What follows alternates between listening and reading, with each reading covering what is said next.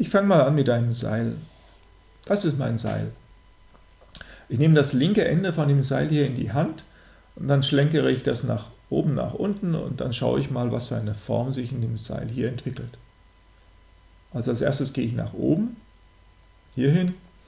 Das Ende reiße ich ja nicht ab, das heißt, meine rechten Nachbarn hier, die werden mitgenommen.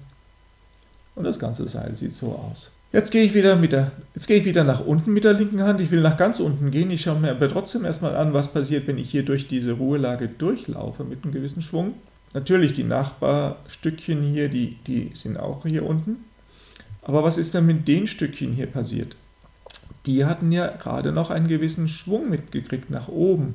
Die werden jetzt also weiter nach oben gelaufen sein. Natürlich werden die abgebremst und irgendwo werden sie dann Geschwindigkeit 0 haben und, und wieder nach unten weiterlaufen. Aber so diese Höhe hier können sie durchaus erreichen. Das heißt, mein ganzes Seil könnte also so ungefähr aussehen.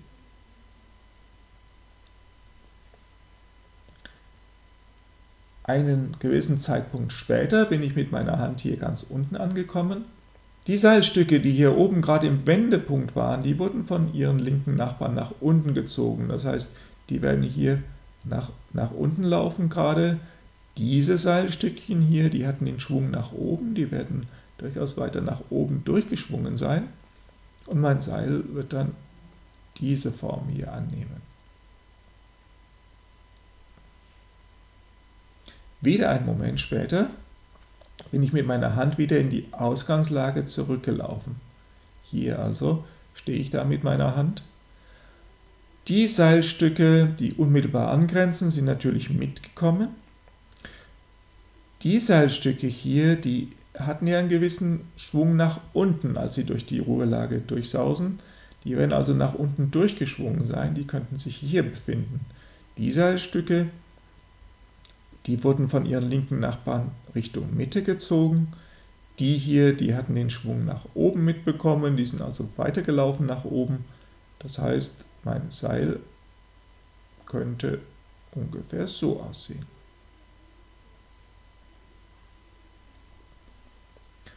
Und wenn ich jetzt das linke Ende nicht mehr auf und ab bewege, sondern einfach hier, hier, hier festhalte, dann wird das Seilstück hier allmählich in die Ruhelage zurücklaufen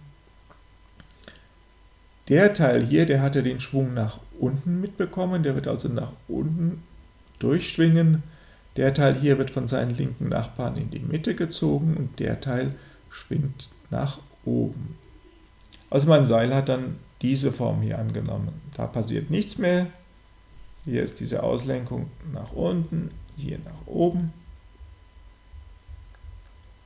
So könnte das dann aussehen. Und wenn ich jetzt mal nur auf diesen Buckel hier oben schaue, hier sehe ich, war der Buckel am Anfang, die erste Auslenkung, dann ist er hierhin gelaufen, hierhin, hierhin, hierhin. Ich sehe, da bewegt sich irgendwas nach, nach rechts. Also diese, diese Störung hier, die bewegt sich in meinem Seil nach rechts. Wenn ich jetzt nach einer längeren Zeit auf das Seil schauen würde, dann könnte das so aussehen, hier habe ich mein, mein Seil, das habe ich ja nicht mehr bewegt. Hier ist die Störung inzwischen, wie sie das Seil entlang läuft. Und, und diesen Teil hier, diese, diese Störung, darum geht es eigentlich jetzt hier in diesem Video. Das ist das, was wir auch als Welle bezeichnen können. Vielleicht ist das ein guter Moment, die Welle zu definieren. Schreiben wir doch einfach mal auf. Welle Was ist das? Welle ist nichts anderes als die Ausbreitung einer Störung. Und wo breitet sich die Störung aus? In unserem Beispiel im Seil. Allgemeiner gesagt, breitet die sich im Raum aus. Also die Ausbreitung einer Störung im Raum. So wollen wir mal die Welle definieren. Ausbreitung einer Störung im Raum. Das ist eine Welle. Ihr könnt andere Definitionen einer Welle finden. Eine der häufigsten hat mit Energie zu tun, dass sich also durch die Störung Energie in einem Medium ausbreitet. Und mit Medium ist das Material gemeint, in dem sich die Welle bewegt. In unserem Beispiel ist das Seil das Medium. Also hier dieses Das Seil hier, das wäre das Medium, in dem sich unsere Welle ausbreitet. Aber es gibt einen Grund, weshalb ich diese Definition mit der Energie nicht verwenden möchte. Denn in weiteren Videos werden wir einiges über elektromagnetische Wellen lernen und die breiten sich nicht nur durch ein Medium aus, die breiten sich auch durch ein Vakuum aus. Deshalb lasse ich die Dinge lieber so allgemein wie möglich.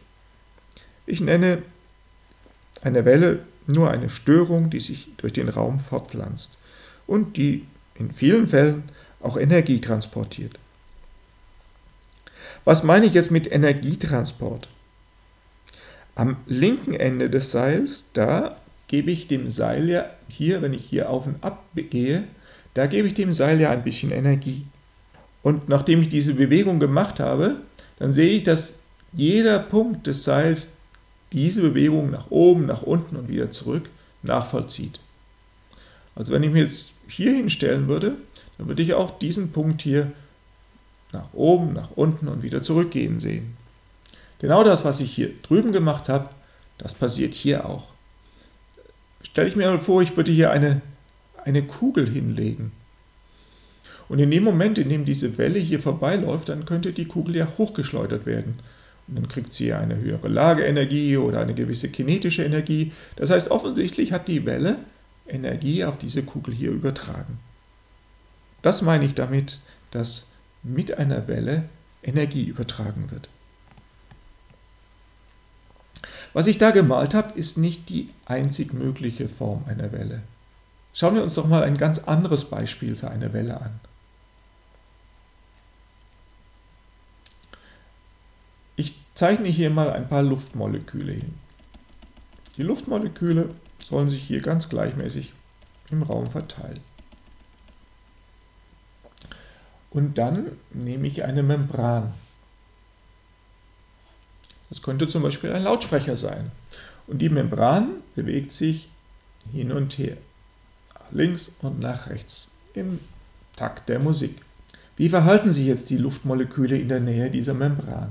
Die Moleküle, die hier in der Nähe der Membran sind, die werden natürlich hier in die Mitte geschubst, wenn die Membran sich nach rechts bewegt. Das heißt, hier in der Mitte entsteht plötzlich eine Zone, in der die Moleküle dichter sitzen als sonst. Sie werden verdichtet. Und dann geht die Membran zurück und dann entsteht links von dieser Verdichtungszone plötzlich ein Gebiet, in dem nur sehr wenige Moleküle sich aufhalten. Das heißt, da wird die Konzentration der Luftmoleküle dünner als im Normalzustand. Die Moleküle hier, die sind alle sehr eng zusammengedrängt und die stoßen sich natürlich auch gegenseitig. Das heißt, die, die, die stoßen ja hier von, von links nach rechts kommen, die stoßen sich dann weiter. Und diese, diese Verdichtung hier, die wandert also weiter hier in diese Richtung. Und wenn wir da später drauf schauen, dann könnten wir sehen, dass diese, diese Verdichtung vielleicht, diese Verdichtungszone schon, schon hierhin gewandert ist und hier sich die Moleküle zusammendrängen und weiterstoßen, während auf die Verdichtungszone ein gewisses Gebiet mit, mit einer sehr geringen Zahl von Molekülen folgt. Das heißt, auch hier sehen wir so eine, eine Art Ausbreitung einer Störung im Raum.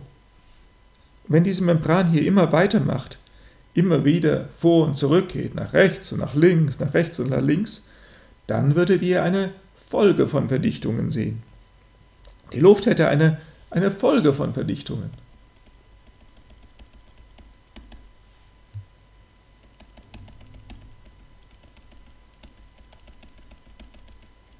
Hier wäre eine Zone hoher Dichte, hier wäre eine Zone geringer Dichte, hier wäre wieder Zone hoher Dichte, geringer Dichte, hoher Dichte und so weiter.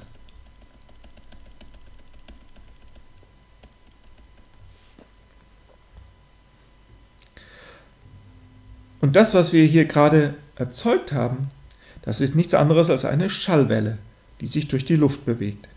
Das ist eine Schallwelle.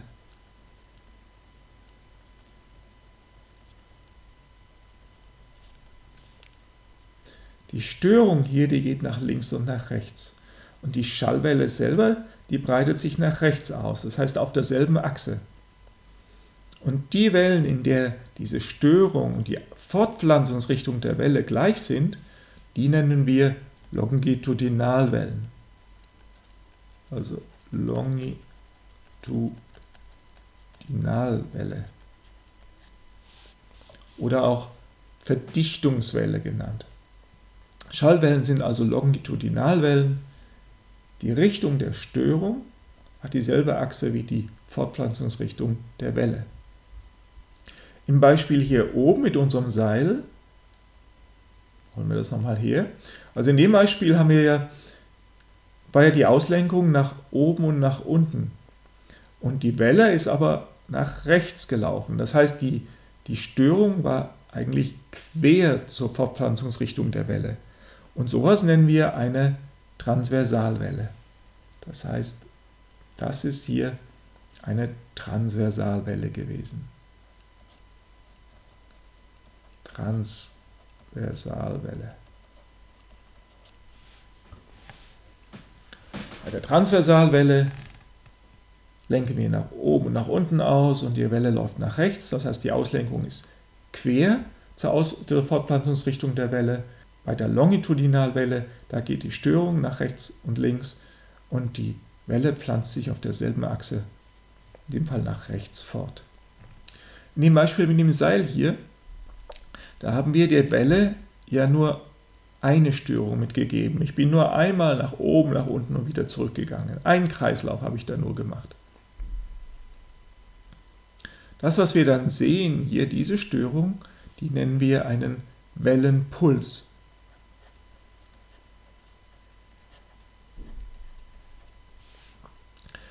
Ich könnte ja auch weitermachen.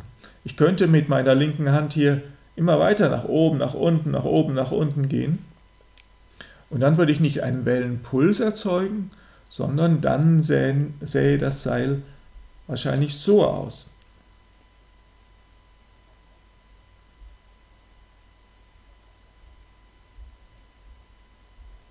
Also wir sehen hier eine Folge von Wellenbergen und Wellentälern.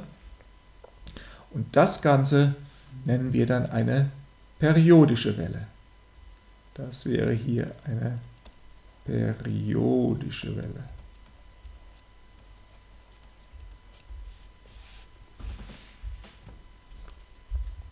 Im nächsten Video werden wir viel sprechen über die Eigenschaften von periodischen Wellen. Zum Beispiel über die Wellenlänge und die Frequenz und die Periode und wie das alles mit der Fortpflanzungsgeschwindigkeit der Welle zusammenhängt. Lauter solche Sachen. In diesem Video, da spreche ich das nicht an, denn hier geht es ja nur darum, mal eine Grundidee zu haben über das, was eine Welle ist, Beispiele dafür zu sehen, wie, wie das Seil oder die Schallwelle. Also wenn wir über eine Welle reden, dann sprechen wir eigentlich über eine Störung, die sich typischerweise in einem Medium fortpflanzt. Und wenn wir die Welle aufmalen, dann zeigen wir eigentlich nur diese Störung. Und diese Störung kann viele Formen haben. Es kann eine transversale Störung sein, wenn wir mit einem Seil zu tun haben. Es kann eine Störung sein in der Dichte der Luftmoleküle, wenn wir zum Beispiel eine Schallwelle haben. Und obwohl das jetzt sehr unterschiedliche Formen der Welle sind, dann, so hängt das doch beides sehr eng zusammen. Äh, wenn ich jetzt mal hier versuche, entlang einer Achse die Dichte der Luftmoleküle aufzumalen. Da sehe ich, also hier habe ich eine, gehe ich mal kurz, schiebe ich das mal ein bisschen hoch.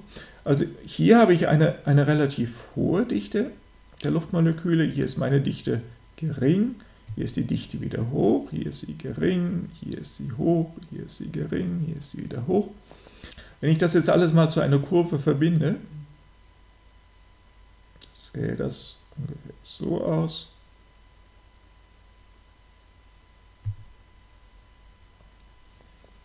Das haben wir doch irgendwo schon mal gesehen. Genau, das haben wir hier oben schon mal gesehen. Das war genau das Bild einer periodischen Welle.